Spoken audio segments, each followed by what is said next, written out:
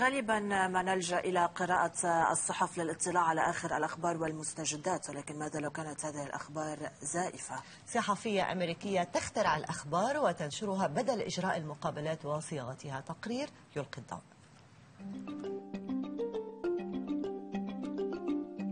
صحيفة يو إس اي توداي الأمريكية تعلن سحبها أكثر من 20 مقالا من صفحاتها الإلكترونية. بعدما تبين أن كاتبتها جابرييلا ميراندا كانت تخترع مصادر وتصريحات.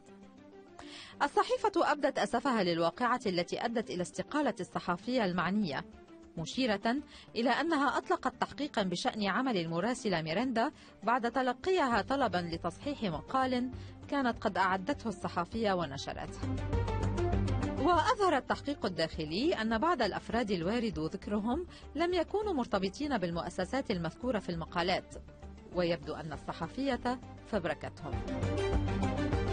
كذلك تبين للصحيفة أنها غير قادرة على التحقق من صحة تصريحات أشخاص آخرين وأن بعض المقالات يحوي تصريحات كان يجب نسبها إلى أشخاص آخرين. وبنتيجة ذلك سحبت الصحيفة 23 مقالا من موقعها الإلكتروني ومنصات أخرى بسبب عدم توافقها مع معاييرها التحريرية. مؤكدة أنها تبذل قصارى جهدها لتقديم محتوى دقيق وحقيقي.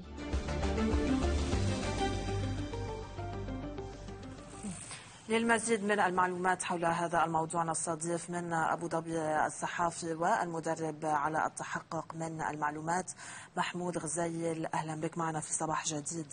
صباح الخير. أهلا بكم.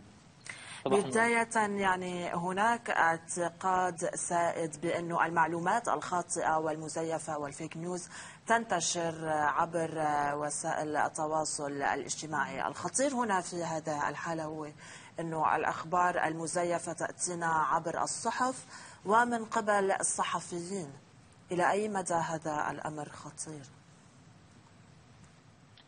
طبعا هذه الخطوة اللي اتخذتها إدارة الصحيفة آه، هي خطوة آه، طبعا يعني يصفق لها ويتم تشجيعها بأكثر من مجالات الإعلام لأنه هذا بدل بأنه على الرغم من انتشار المعلومات المغلوطة والمضللة حول العالم ما زال هناك مؤسسات تعترف بالخطأ وتتراجع عنه وتعلن عن هذه القرارات علنيا. طبعا هذا ما بيعني بأنه هذا بخفف من الثقة يلي ممكن نعطيها لهالوسائل الإعلام ولكن بالتالي نحن بنعطيها ثقة أكثر لأنه تتابع وتستمع إلى الجمهور وإذا في حال عنده أي سؤال عن المواد المطروحة أو التصريحات أو المقالات المنشورة. يعني هذه حالة شاذة لا يمكن تعميمها. آه، لكن ما الذي يدفع برأيك صحفي إلى القيام بمثل هذا الموضوع؟ معارضا أولا مصداقيته للخطر وثانيا مهنته ومصدر رزقه ومؤسسته أيضا للخطر.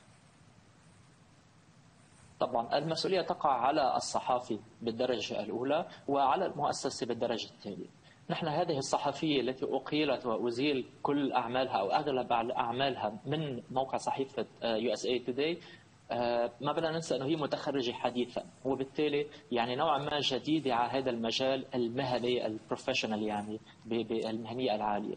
وبالتالي هون لازم يكون في مسؤولية عليها إنه تلتزم بالأخلاق الصحفية والإعلامية. وطبعا من جهة ثانية كان يفترض على يو إس اي توداي تدقق بهذه التفاصيل وتدقق تدقق بهذه المعطيات اللي عم يتم طرحها لأنه هيدي من مسؤولية إدارة التحرير وإلا شو هدف صحيح. إدارة التحرير إذا بس مجرد عم نطبع نحن؟ إذا في كذا جهة مسؤولة عن الخطأ آه، الذي حصل. طب بهذه الحال ما الرادع لانتشار مثل هذه الأخبار الزائفة؟ وهل هناك قانون للمحاسبة بهذا الإطار؟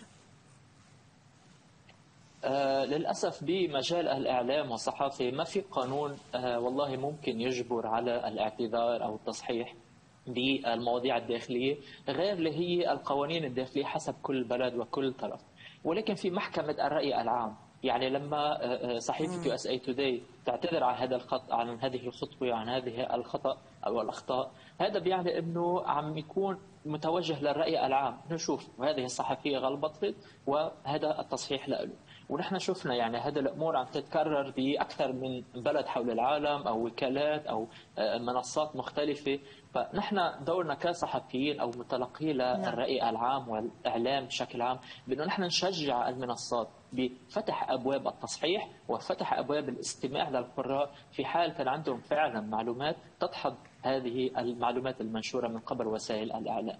في ظل كل هذا التزييف والتضليل وأثره أيضا السلبي على على الشعب يعني الذي يستقصي المعلومة الخاطئة آه، برأيك كيف علينا أن نستقصي الخبر الصحيح وهل من مصادر موثوقة للأخبار؟ هلا طبعا بالدرجة الأولى نحن لما يكون عم ندرب مثلا أفراد على كيفية الثقة بالوسائل الإعلام نحن بنطلب منهم بأنه يشوفوا نفس الخبر بوسائل إعلامية مختلفة. وكل وسيلة إعلامية كيف أخذت هذا الخبر وتناولته. هلأ طبعا هذه الصحفية اللي أقيلت آه، أغلب مقالاتها كانت نوع من الصحافة التقارير الخاصة وبالتالي مش مذكورة بأماكن ثانية فنحن عندنا ثقة بهذه المؤسسة بأنه تكون عم تتابع هذه المعلومات. واللي كان علينا نحن بكل شيء آه، بيظهر لنا بأنه لافت للانتباه أو في معلومات فعلا تجذب بطريقة غير اعتيادية إنه نحن يكون عندنا نوع من الشك بإنه والله ممكن يكون في شيء آه، آه، معلومات أو أو تفاصيل قد لا تكون آه، صحيحة 100% لأنه ما في حدا لا يخطئ. كلنا بنخطا ولكن نحن التراجع عن الخطأ والاعتراف بالخطأ دائما بيكون شيء إيجابي. هون يعني لابد من الإشارة إلى آه، بعض آه، الوسائل الإعلامية التي أخذت على عاتقها آه، التحقق من صحة المعلومات. وفي بعض يعني حتى ال website عملت مثل قسم مخصص لكشف الأخبار الزائفة أو ال fake news.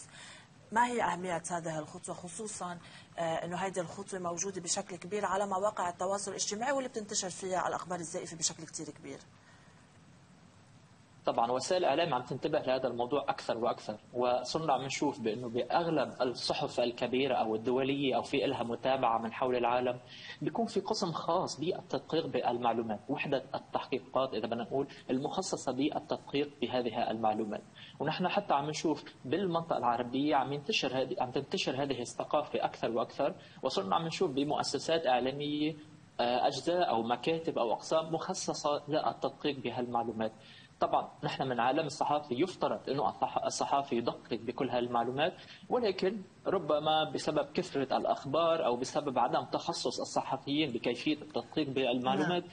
يفترض يكون في هذا أقسام موجودة كما داخل وسائل الإعلام يعني بالحديث عن الدول العربية هل في الدول العربية آه، قوانين آه، يعني تحاسب الصحفيين الذين آه، يعلنون الأخبار الزائفة آه للأسف ما في قانون واضح ولكن في قوانين تعاقب على نشر التضليل الإعلامي أو المعلومات الكاذبة أو حتى يعني بيكون في نوع من شماعة كبيرة ممكن يكون في تحتها العديد من الأمثال والعديد من القضايا. وعم نشوف نحن من المشرق العربي للمغرب العربي آه كل هذه القوانين اللي هي يعني بشكل أساسي ظهرت خلال الخمس سنوات أو العشر سنوات الماضية كانت نوعا ما بشكل كثير كبير بس تحكي على الأخبار الضليل بشكل عام ومش بس الصحافة. على اعتبار بأنه الصحافي في عندهم على سبيل المثال محكمة مطبوعات أو آه، آه، مجلس وطني للإعلام بهذه الدول ممكن يحاسب. ولكن طبعا يجب هذه القوانين أن تكون أكثر متقنة وأكثر متابعة. وطبعا على وسائل الإعلام يكون فيها كادرات تدرب الصحفيين أو تنورهم. يعني حتى ما بدي أقول تدريب يعتبروها شوية إلى الكلمة ولكن على الأقل تنوير الصحفيين والناشرين بأنه هذا يسيء لكم لسمعتكم ولسمعة هذه المؤسسة يلي بتشتغلوا فيها. الصحفي والمدرب على التحقق من المعلومات محمود غزيل شكرا جزيلا لك.